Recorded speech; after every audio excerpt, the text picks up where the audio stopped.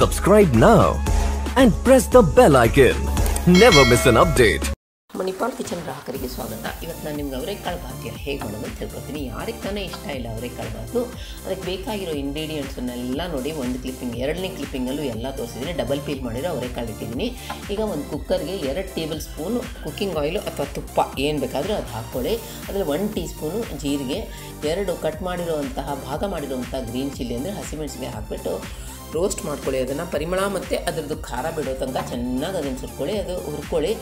ಆಮೇಲೆ ಇವಾಗ ನೀರುಳ್ಳಿ ಕಟ್ ಮಾಡಿರೋದಂತ ಹಾಕ್ಕೊಳ್ಳಿ ಅದು ರುಚಿಗೆ ತಕ್ಕಷ್ಟು ಉಪ್ಪು ಹಾಕ್ಕೊಳ್ಳಿ ಅದಕ್ಕೆ. ಯಾಕಂದರೆ ಈರುಳ್ಳಿಗೆ ಉಪ್ಪು ಹಾಕೋ ಕಾರಣ ಏನು ಅಂದರೆ ನಿಮಗೆ ಕಡಿಮೆ ಎಣ್ಣೆನೂ ಬೇಕಾಗತ್ತೆ ಮತ್ತು ಈರುಳ್ಳಿನೂ ಉಪ್ಪು ಹಾಕಿದ್ಮೇಲೆ ಚೆನ್ನಾಗಿ ಹುರಿದು ಬರುತ್ತೆ.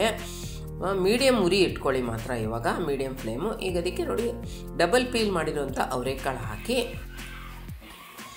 ಚೆನ್ನಾಗಿ ಕಂಬೈನ್ ಆಗೋ ತನಕ ಅದರಲ್ಲಿ ಮಿಕ್ಸ್ ಮಾಡ್ಕೊಳ್ಳಿ. ಒಂದರಿಂದ ಎರಡು ನಿಮಿಷ. ಒಂದು ನಿಮಿಷನಾದರೂ ನೀವು ಮಿಕ್ಸ್ ಮಾಡ್ಕೋಬೇಕಾಗತ್ತೆ. ಈಗ ಕಟ್ ಮಾಡಿರೋಂಥ ಕಟ್ ಮಾಡಿರೋಂಥ ಬೀನ್ಸು ಕ್ಯಾರೆಟು ಹಾಕ್ಕೊಂಡು ಅದನ್ನು ಹಾಗೆ ಮಿಕ್ಸ್ ಮಾಡಿ ಚೆನ್ನಾಗಿ ಅದರಲ್ಲಿ ಆ ಒಗ್ಗರಣೆಲಿ ಕಂಬೈನ್ ಆಗೋ ತನಕ ಮಿಕ್ಸ್ ಮಾಡ್ಕೊಳ್ಳಿ.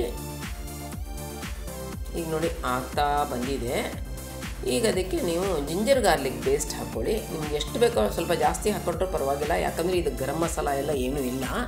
ಅದು ಕಂಬೈನ್ ಆಗಿ ಅದರಲ್ಲಿ ಹಸಿ ವಾಸನೆ ಹೋಗಿ ಪರಿಮಳ ಬರೋ ಹಾಗೆ ಅರೋಮೆಟಿಕ್ ಆಗೋ ತನಕ ಅದನ್ನು ಫ್ರೈ ಮಾಡ್ಕೊಳ್ಳಿ.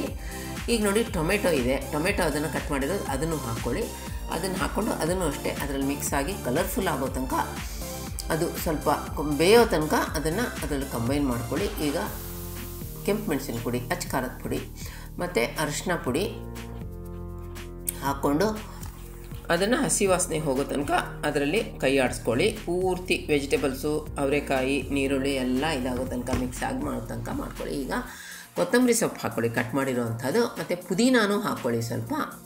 ಯಾಕಂದರೆ ಪರಿಮಳಯುಕ್ತ ಆಗ್ತದೆ ಭಾತು.